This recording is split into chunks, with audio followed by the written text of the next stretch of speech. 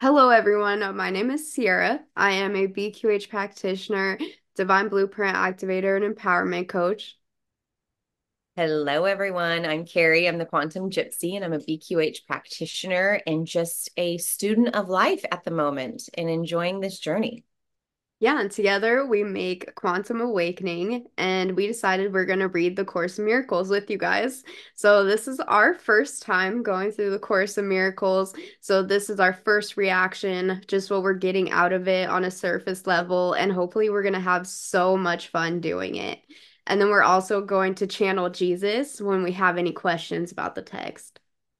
Yeah, we're going through this, and just a little bit that I kind of was reading ahead just for, you know, purposes purposes of doing this is I've realized there's so many useful things that if you just stop and apply them and integrate them into your old ways of thinking, that it can actually transform you into a new way of being that is so much more freeing without those lower density energies like, you know, fear, anger, unforgiveness, all those things. Like we're going to go through and we're going to work on the self, and we're really excited to do it along with you. Yeah, absolutely. I think I'm at a point in my spiritual journey where I went down a lot of rabbit holes. I gained as much information as I possibly could on my spiritual journey. And now I'm just really ready to focus on that connection between me and God. And I think that that's what the Course in Miracles does. Yeah, yeah. And uh, we were talking about this last week about just even the word God, how when you be discover that you may be a light worker, that you're on this spiritual awakening journey, that somehow there becomes an uncomfortability with myself, especially with the word God in the way, not what it means for me, because I know what it means for me, but how it affects others and how it may trigger others to something that they may not like that association. But for the to go along with this book and to be more in aligned with our connection, we're going to use the authentic words that are good for us and take it, leave it, use discernment. But if it feels comfortable for you, you're, you know, we're all excited about that. Yeah, so this is the book, The Course of Miracles. There will be a link down below if you want to go purchase the book so that you can go through it with us. So today we're going to be starting in the preface, um, where in bold black letters it says what it says on page 10 or page X. Roman numeral. All yeah, right. Roman numeral X. All right, so we're just going to kind of read. I'll read some of these expert excerpts and then we're just going to discuss it and just talk about what it feels for us, what we could see it feeling for others, and just how we can apply it in our lives. So here we go. Um, what it says nothing real can be threatened, nothing unreal exists. Herein lies the peace of God. This is how A Course of Miracle begins. It makes a fundamental distinction between the real and the unreal, between knowledge and perception. Knowledge is truth under one law, the law of love or God. Truth is unalterable, eternal, unambiguous.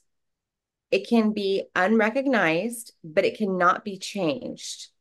It applies to everything that God created, and only what He created is real.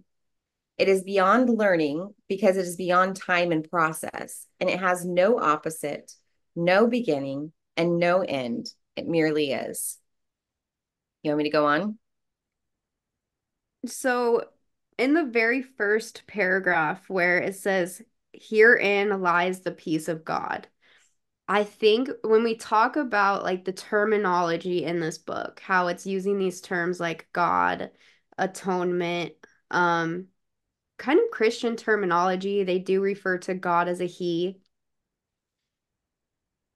I think that when we can release our judgment of these words, that's actually where the peace of God lies. And that is actually what allowed me to find the peace of God within myself is when I was able to release judgment of everything that I was projecting onto the world. And especially down New Age spirituality, like I'm not judging it. I learned so many incredible lessons and I was able to raise my consciousness in about a year and a half because of that path.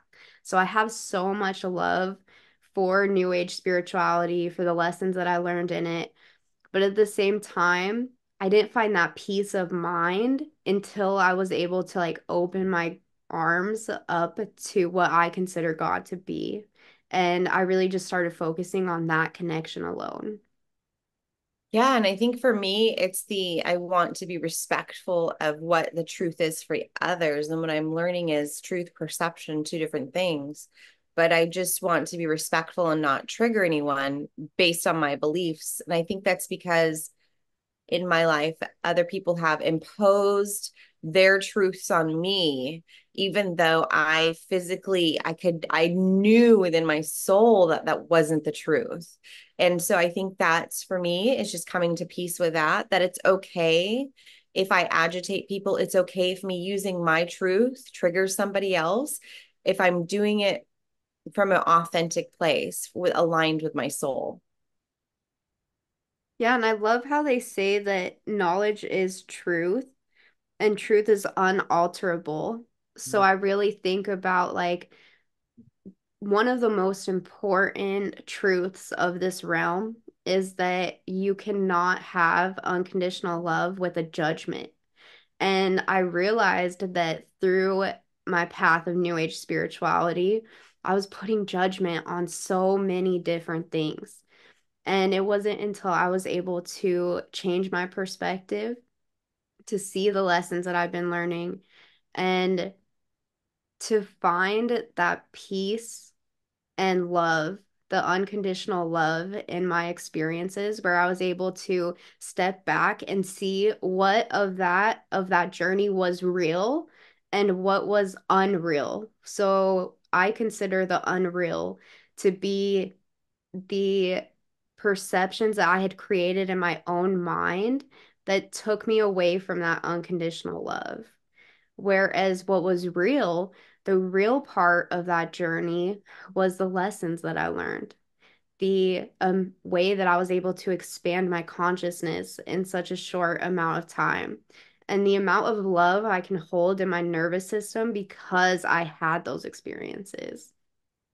Yeah, I think if you observe children, that's the most like great way to bring it to perspective. If you eh, see children, they're so in the present, they're so in joy, they're not thinking about these consequences. Like, you know, as it, you, oh, things we're taught are things like I say to my own kids sometimes, and I'm not realizing that I'm imposing a blockade on them based on my own perception of things I've been taught, you know. But that's like what I think about that moment of when just kids just enjoy and live they're not in fear they're just in this purity of everything and uh, it's all those things outside of that freedom that are not real. They're all exist within our mind and it's all based on things we've been taught or told or seen or just the way we've processed in our brains and i just you know this is coming back to that freedom of being that free loving child within and just loving the earth and just being in unison with it and and I in in unison with God. Yeah, I love that example because the very last line of that paragraph was um it is opposite no beginning and no end it merely is. So it truly is just presence. It's being in that present moment with God. Yeah, it's really beautiful and I think it's it gives you a in applying this information and in in letting it integrate it allows you to just be present moment to moment and and be present with those thoughts and be able to be the master of those thoughts and be like no i, I don't need to be afraid of that. No. I, and, and for me it's like i've i've always been very intuitive of how people behave and understanding the psychology of why they're behaving that way that i'm even stepping away from doing that I'm just like, they just are. It's none of my business. I don't need to like analyze them. and it and then I just move on and just enjoy the moment. I don't need to fix the world. I think that's something that we do as healers, Yeah. as spiritual healers. Like uh, now, if I see somebody acting out, I see their traumas instead of seeing um instead of seeing like the negative things that they're doing, I see their traumas and I start trying to want to give them tools to use. I start um like imagining in my head the things that I could say to them that would help them. And in the same way, like that's my own delusion. That is like the my own perception that I'm putting onto them from my own path. And that they might be exactly where they need to be in their life for the experience that they want to have. Yes. Who was that one guy that did the interview that you were just blown away with? What was his name again? Um, for Joe Rogan, he was talking about the flower of life. Oh, are you talking about Terrence Howard? Yes. He, out of all that phenomenal stuff he said, which I'm sure it was like groundbreaking, right? Like, and, and, and I, it was beautiful. The one thing he said that I walked away from that interview was, is somewhere in his life, he was taught to allow the God in me to speak to the God in you. And I think that was so just like if we could all talk to each other as if we see that light within each other, we would interact in such a different way. So maybe instead of me, it's about reflecting, maybe instead of seeing the trauma in people, is always seeing their light and always coming to them and letting the light in me speak to the light in them and and maybe just it won't matter about those traumas because i will have unlocked and and and engaged in a conversation that was more healing than any other psychology 101 that I could have done with them. And I think that's really what it, it reminds me of. Yeah, that's beautiful. I absolutely love that. Mm-hmm. Yeah. Um, yeah. So pretty profound par- paragraph.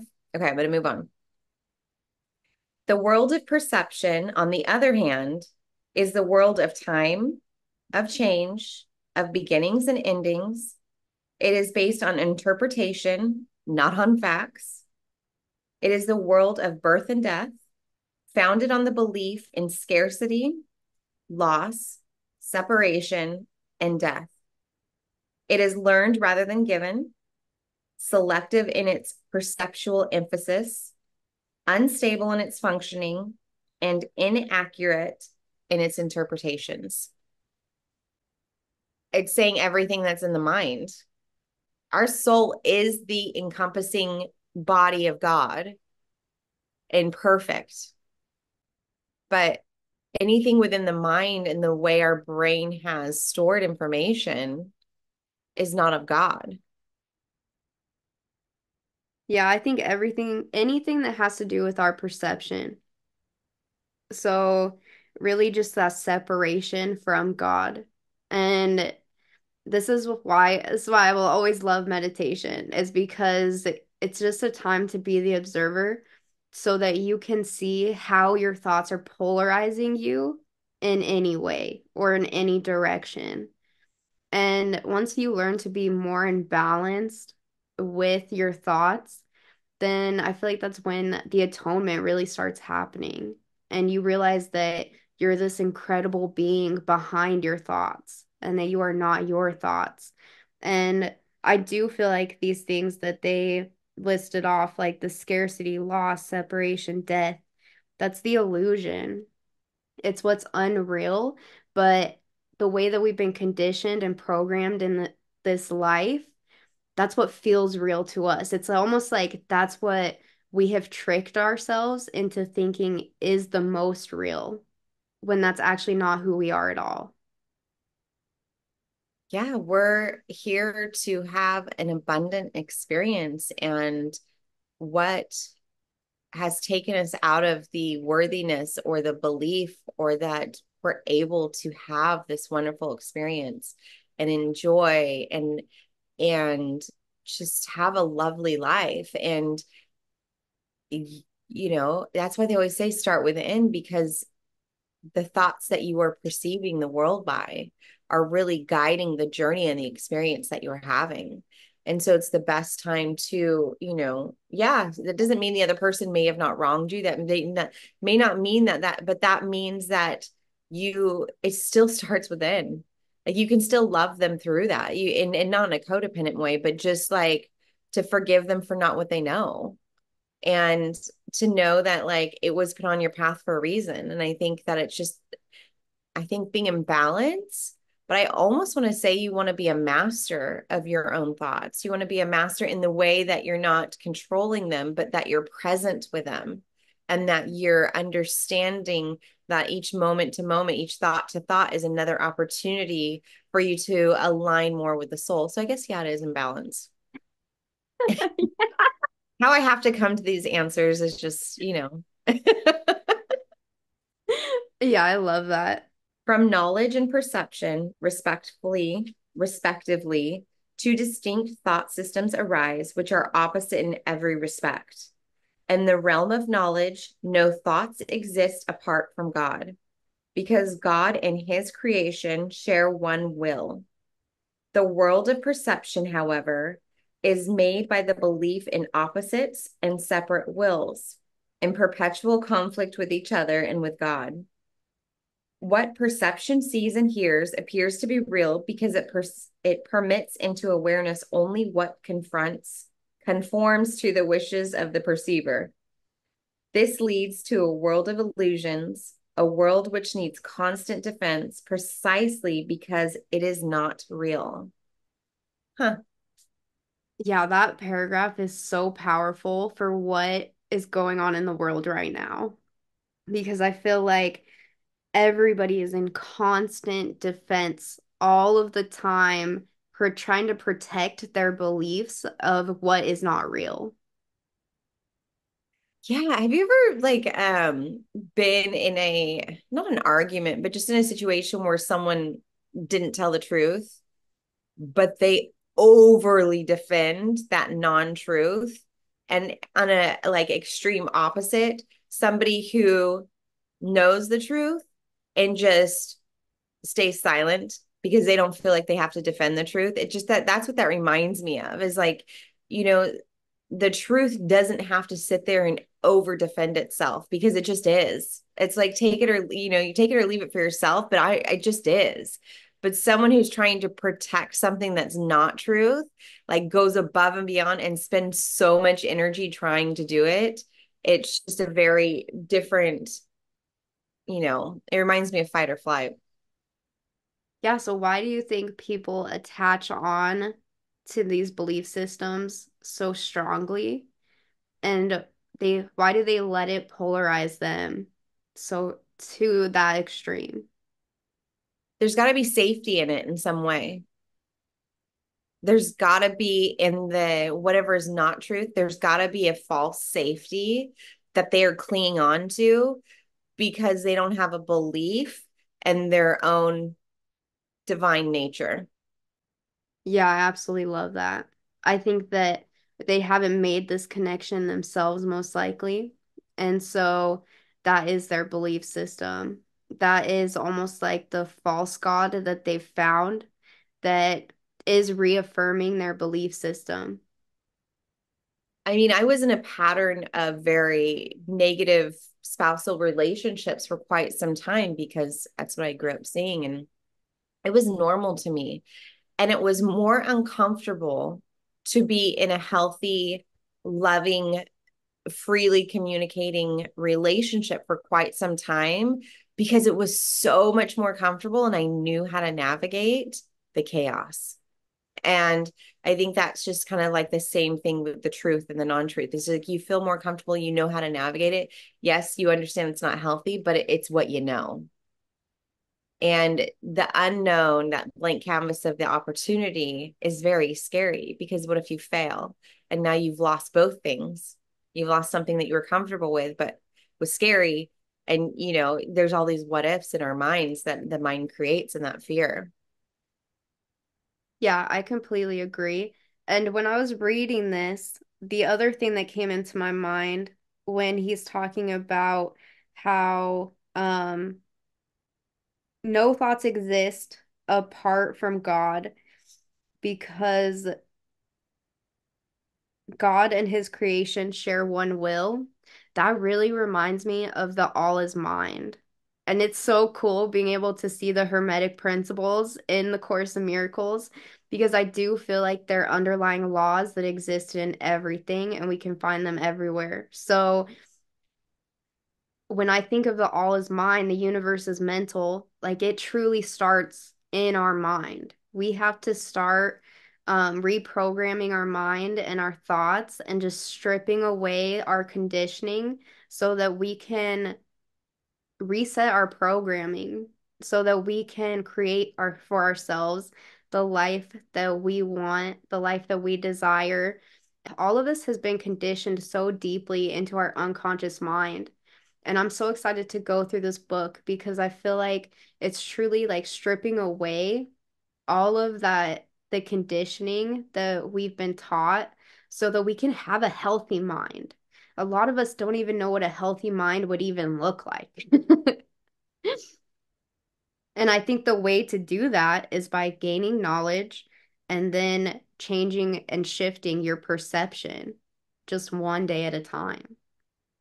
And just getting in tune with that beautiful soul that's inside of you that maybe you forgot shined so bright and then it's always been there this whole time, and that you were never separate. You were never separate from your soul. And these perceptions may have given you the belief of separateness from your to truly who you are, but it was there the whole time. You just have to get the little rag out, buff it out, and like let it just shine, you know, and and and it's free doesn't cost anything. It, it, doesn't, you know, we're we're in these economic times, all these things that the what's going on, but to to be able to unlock those gifts, it's it's there and it's always been there and it's love. And it can feel uncomfortable even being in connection with your true self because you haven't been fully connected. You've been outside of that that being but it's just such a beautiful gift that you can do for yourself. Like start, you know, daily doing little practices to connect with yourself. Yeah, I love that. Or they can even just uh, um like watch things like this every day. things that help you find love. yeah. Love and laughter. Those are the things like if you can find love and laughter and things, that is where I suggest putting your attention. Yeah the world is really funny and and people may, may not appreciate you thinking it's so funny but it really is like and it's silly. It is a farce that that that play you know of life and it's it's just and then i remember channeling one time and asking the angels what makes them laugh watching us and they said when we cry because we are so dramatic when we cry really, really, and I am like, I have snot going places. Like, I have no perception of what I look like when I'm crying. Um, and it's kind of funny because if I was an angel, I'd laugh at me too. hey, Carrie, want to see the funniest thing ever? What's that? want to see what my bookmark is for the Course of Miracles? Oh my gosh. That's me and my little brother. That's so funny. That geez, you were blonde. You were adorable. Yeah, I was. I had really light hair when I was little, but I tormented my little brother. Uh-huh. and that's what my bookmark is for this book. All right, everyone. So we've had so much fun today. Thank you for watching. We're going to be doing this every single week. We're really excited about it. Um, go and check out me and Carrie on Patreon. We have our Patreon. It is Quantum Awakening Portal, where we do group hypnosis, live channelings. We have a beautiful community that is really just there to heal themselves and go through this journey together we're just grateful. Go check out our community. We have lovely people there, all just kind of aligned, moving forward, just humbly if it's students of life together supporting one another. And we have some fun channelings. We're excited at the end of august we're going to do the live group hypnosis. Um, you can also visit both of our websites where you can see out what products we um, offer there as well. So we're so excited to be on this little path of life together. Yeah, thank you.